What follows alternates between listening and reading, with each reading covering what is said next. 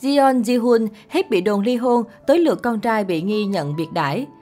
Mới đây không lâu, trên mạng bất ngờ lan truyền tin đồn Jeon Ji-hun đã ly hôn, chồng CEO khiến dân tình bị sốc nặng.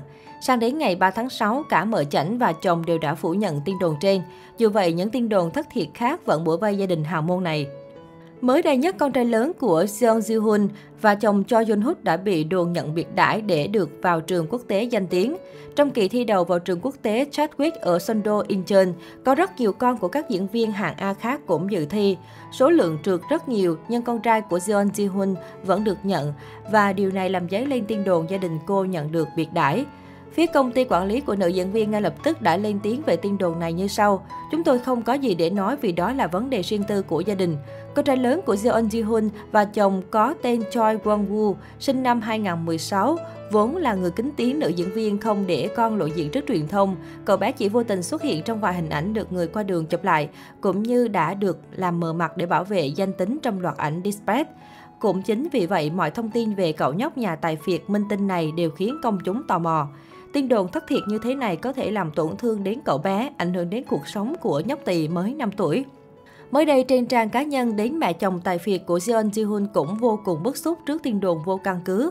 Mẹ chồng của mợ chảnh là nhà thiết kế nổi tiếng Lee Sung Gu, bà đứng đầu gia đình tài phiệt phía nhà chồng Jeon Ji Hoon. Trên trang cá nhân bà đăng tải hình ảnh đĩa salad kèm chú thích.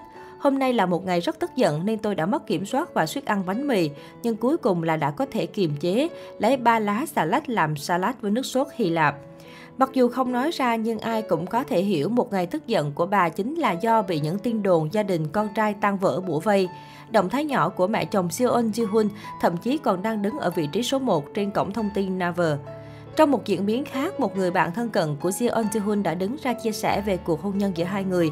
Người bạn này mạnh mẽ khẳng định, tất cả đều là suy đoán sai sự thật. Sau khi cô ấy kết hôn đã có rất nhiều tin đồn về trạng nứt hôn nhân.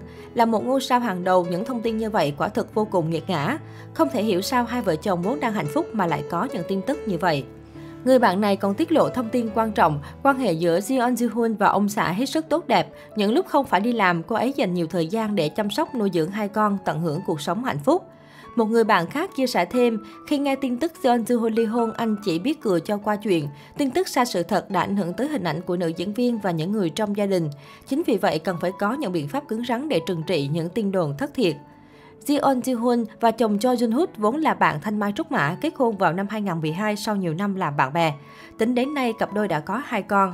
Chồng mở chảnh từng du học Mỹ, hiện là CEO công ty Alpha Asset Management, có tổng vốn lên đến 7.400 tỷ đồng. Cả mẹ và bà ngoại anh đều là những nhà thiết kế nổi tiếng. Trong đám cưới, Jeon Ji-hun đã diện bộ hai bút do chính tay bà ngoại của chồng thiết kế.